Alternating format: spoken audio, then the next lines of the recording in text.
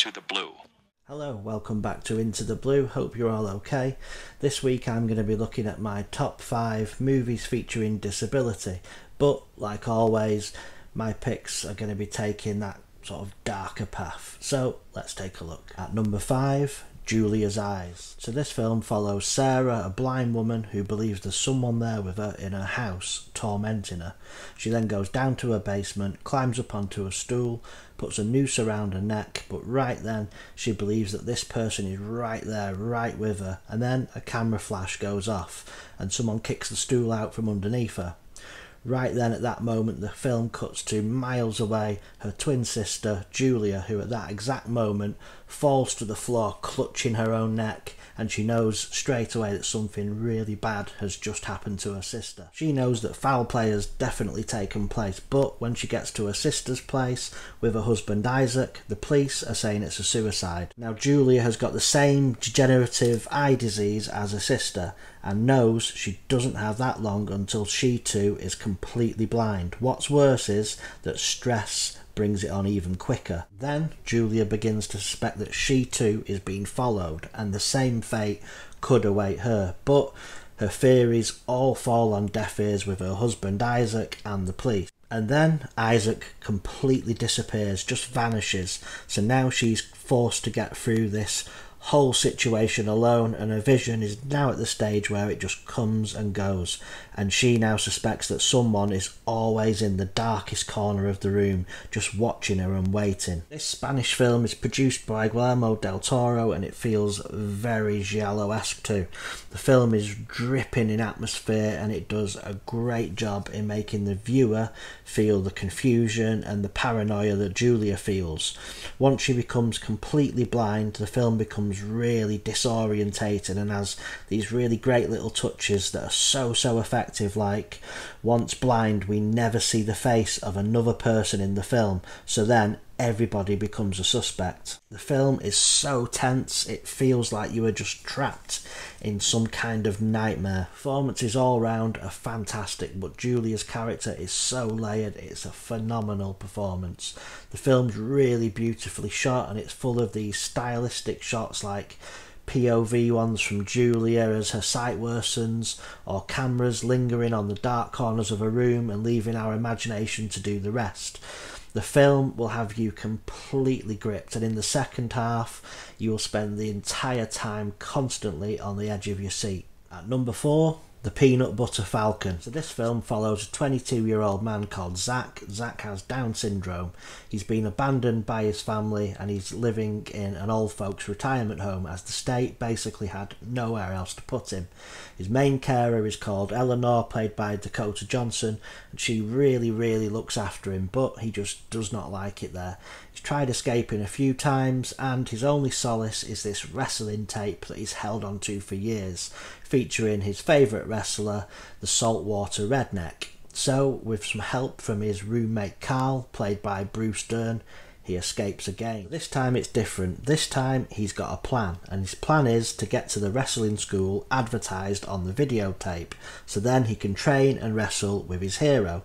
So he's basically got to get from North Carolina all the way over to Florida. He's now got Eleanor, his carer, hot on his tail. She's been tasked with finding him and bringing him back as he's likely to listen to her. So then the film cuts over to Tyler, played by Shia LaBeouf. He's also on the run after losing his job. He's been bringing in illegal crab catchers and then he decides to burn down all the gear of his rivals who know what he's done and they're coming after him and they are nasty, nasty people.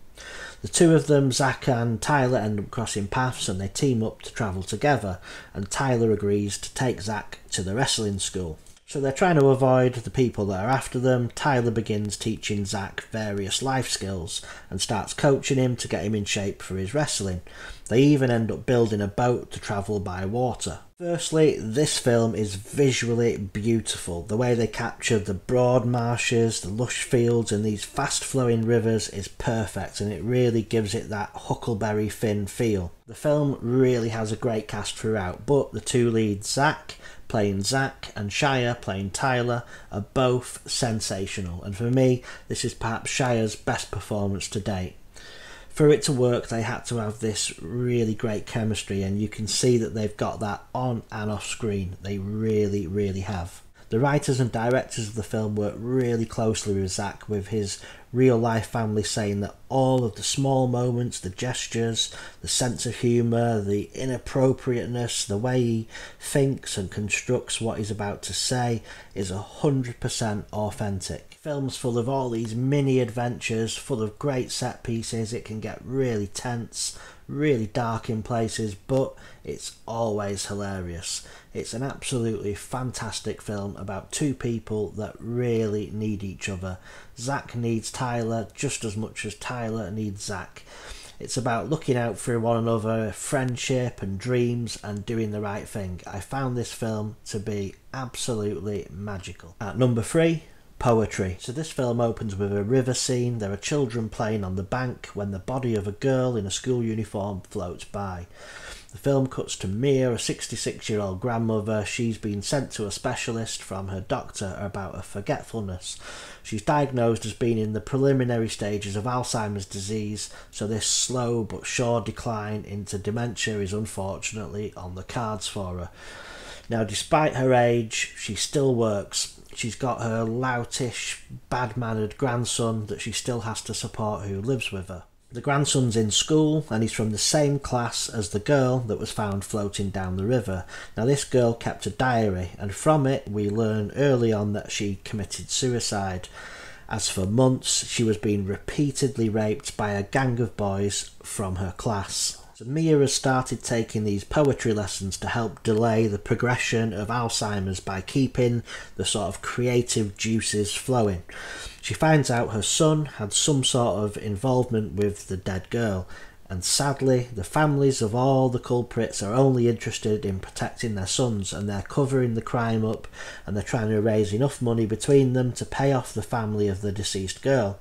So Mia now has to choose between exposing the crime or hiding it with the others, and only by using poetry does she find the answer to that question. This really is such a moving film, and the director Lee Chang Dong has crafted this really special film that was able to see the beauty under all the ugliness. One thing that really surprised me about this film is given the themes and the subject matter that the most affecting scenes were the discussions in the poetry class. It's a film that completely locked me into this certain sort of state of mind and it just kept me there despite its around 2 hour 20 minute runtime and I didn't think about the time once during the entirety of the whole film. Poetry has a really smart script and it purposely leaves a few loose ends for us to form our own interpretation of what happened or what it means, and it works really, really well. Mia, played by Yoon Jeong-hee, pulls in this complete powerhouse performance, and she was actually taken out of retirement by the director Lee Chang Dong for this role, and she's absolutely magnificent. She portrays this woman who's really worn down, but she's not out, and she can sort of sometimes give over this weak impression, but she has got this rock solid moral core. Then throw in the fact of the Alzheimer's, then throw in the situation with her grandson. It really is a 10 out of 10 performance. At number two, Calm with Horses. So this film stars Cosmo Jarvis, who plays Douglas Armstrong, and he's known as Arm. He's a former boxer who's now an enforcer for the Devers family and their drug dealing operation in a small town in Ireland. He works really closely with Dympna Devers, played by Barry Keogh, and he's always reminding Arm that they're really close, just like family, but they're not. They don't treat him like that at all. He's just their attack dog, and Dympna even treats him just like one. He whistle at him like an owner would to a dog, and he even calls him a good boy when he obeys and dishes out brutal violence on their behalf. You can see that Douglas really hates working for this criminal family, but a series of constant bad choices has taken him to the point where he's just completely lost and he really has no other option. Arm has a partner or an ex partner, Ursula, and their relationship now is one of Ursula not being too happy with him, and she has just cause. They've got a little boy together called Jack. He's autistic and non-verbal. Arm really loves Jack and he does try, but it's kind of a mixture of not understanding autism and not being around his son enough means that he just basically has no clue on how to handle his own son. An example is in one scene, Arm offers him candy floss if he just says a word, which obviously won't happen, which then leads to a huge autistic meltdown. And Arm doesn't even realise that although they can look similar, an autistic meltdown is a million miles away from a child having a tantrum. So Ursula tells Arm that she has now got the chance to move away and to get Jack into a special school where he'll really get looked after well and get the help that he needs and the help that he deserves. But she needs money from him. And it's quite sad because you sort of get the impression through Ursula that Arm wasn't always like this. And it's just a real shame because if they could move all the bullshit out of the way, they could really love each other again. Arm's killed before and he's been put in a position now where the Devers family are asking him to do it again. But he is really trying to do the right thing, especially for his son. So he starts to kind of resist their demands, but this does not go well at all and that's where I'll leave the storyline. This film is really sinister and violent, but it's also really sad and really touching. For example, there's a scene in the film that involves Arm and his son and a horse, which his son finds really therapeutic, hence the title. And this scene, wow, this is one of the most moving scenes I have seen in a long, long time. All of the cast completely knock it out the park. Barry Keoghan, amazing as ever. He sort of skulks around and prowls about with all this menace. You've got Niamh Algar who plays Ursula. She is outstanding as this tired, desperate woman. She really loves a child, but all the fight has gone. Almost. Then you've got Cosmo, who is phenomenal. He, for me, has got that same look in his eyes as a Tom Hardy or Matthias Schoenaerts. Just that real sort of authenticity, and his performance is so so layered. I cannot wait to see what he does next. Kiljan, who plays Little Jack, wow, spot on. My eldest daughter is non-verbal and autistic, and like Jack, isn't high functioning at all. The makers of the film worked very, very closely with the National Autistic Association and it really shows. This isn't Rain Man where you can take them to Vegas and they'll count the cards for you and you'll win your fortune. And it definitely isn't that silly film with Ben Affleck where he can kind of use his autism as a superpower to work out the angles needed for firing his sniper rifles, which makes him this amazing hitman. This is the cold hard, horrible, horrible autism that you don't see in films. And bravo for the filmmakers for going that extra mile to portray what it's really like and how it affects all the people around it. For me, this is a very, very special film. At number one, the Tribe. So this film opens with a lad who's got his briefcase in hand and he approaches a woman at a bus stop asking for directions, but he does this by handing her a note. So straight away we learn that he's actually mute, and from her response to the note, this then tells us that he's also deaf. His name is Sergey and he's joining a boarding school for the deaf, but very quickly we learn that things are very, very wrong at this boarding school.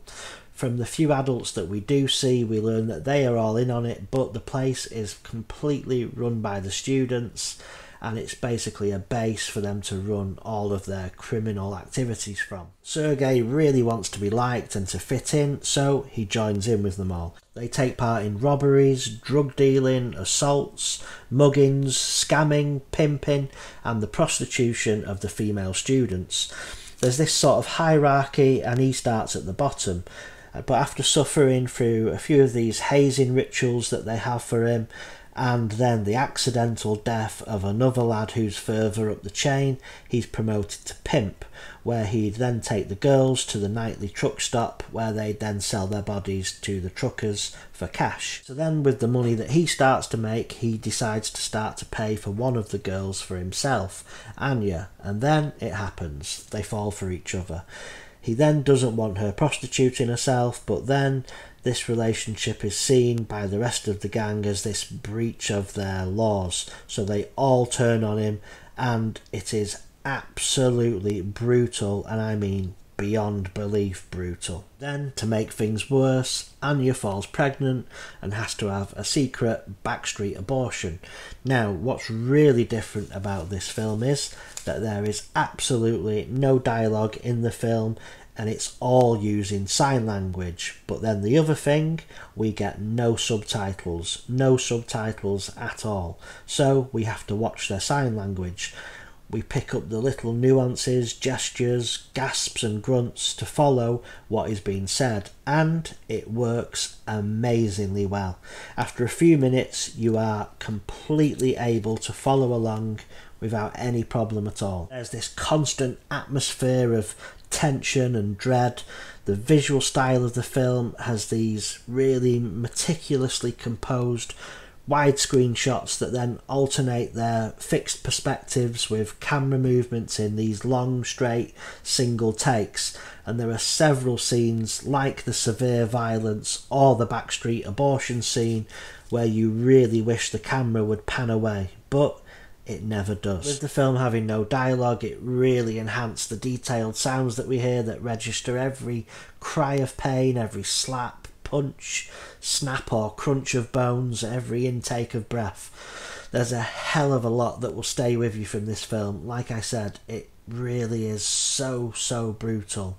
But the final scenes of this film won't just stay with you, they will truly bury under your skin and settle there for a long, long time. So that was my top five movies featuring disability. I hope you got some decent recommendations from that list, and I'll be back again in two weeks' time with another list in another genre. I'll see you then. Cheers.